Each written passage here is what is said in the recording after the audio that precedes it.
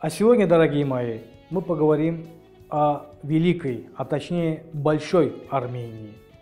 Значит, согласно исторической науке, это государственное образование, появившееся во втором веке до нашей эры и просуществовавшее до пятого века нашей эры, то есть порядка около 600 лет.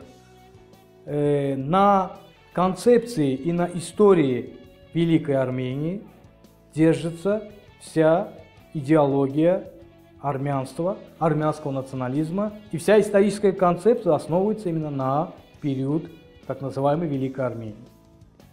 Однако, если рассмотреть более обстоятельно, что такое Великая Армения, кто ее создал, где она находилась и реально сколько просуществовала, возникает масса вопросов, на которые, к сожалению, не то что армянская, но даже европейская и российская наука старается не отвечать, а обходит стороной. Почему? Потому что концепция государственности Великой Армении в современной истории создавалась усилиями как европейской политики, так в частности и российской политики, а затем европейской науки, российской науки. И уже этот концепт привел к тому, что армянская наука довела эту концепцию до так называемого итога и уже в течение порядка 70-80 лет на академическом уровне преподает его как внутри страны, а также развивает эту идею далеко за пределами современной Армении на Кавказе. Так, что же есть Великая Армения? Мы будем говорить о том самом периоде, когда, э, согласно историческим хроникам, Великая Армения Major Армения или Great Армения. По-разному называют. Великая она потому, что территориально была немного больше других образований. Начнем с того, что речь идет о географическом термине. Под Арменией подразумевается определенный горный регион географический, находящийся в Малой Азии. Понимаете? Не на Кавказе. В Малой Азии на территории современной Турции, на стыке ее территории с Сирией, немного с Ираком и чуть-чуть с Ираном. Это значит устье рек Ефрат, Тигр и окрестности озера Ван.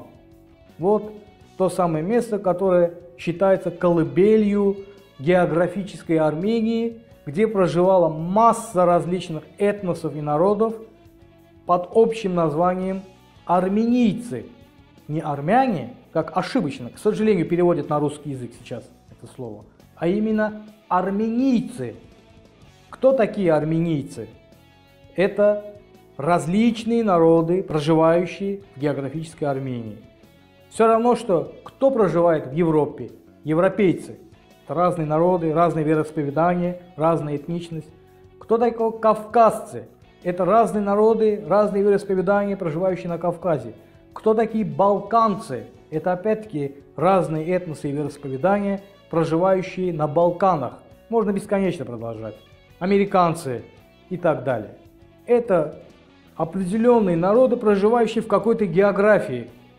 Никаких посылов на государственность или на моноэтничность обнаружить невозможно в источниках. Однако на базе вот этого искаженного слова армянийцы, превращенные в армяне, сейчас подразумевается, что на Армянском Нагорье, на территории Великой Армении сугубо проживали армяне, прямые предки нынешних армян. И правили там армянские цари, этнические армяне. Однако это не так.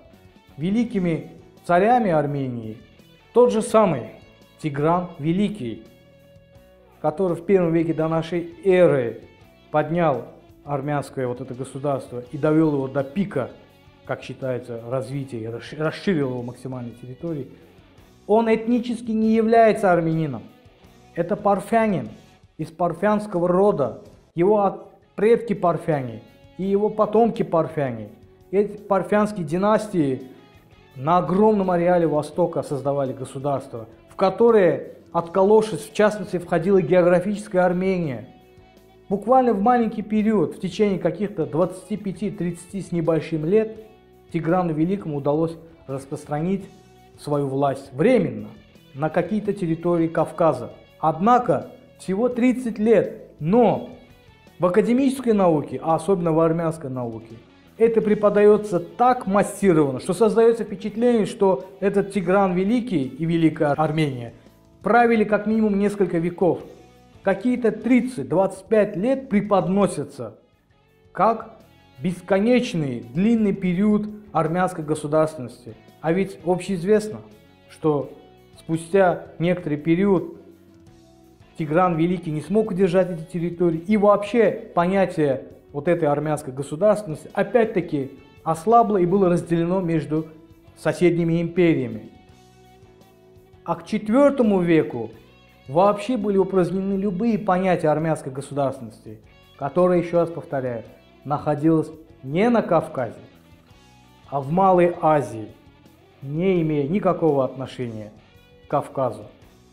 В этой передаче мы поговорили об одном из эпизодов государственности, имевших место в географической Армении. В следующей передаче мы коснемся того, что такое Армения как термин и кто такие армяне как этнос.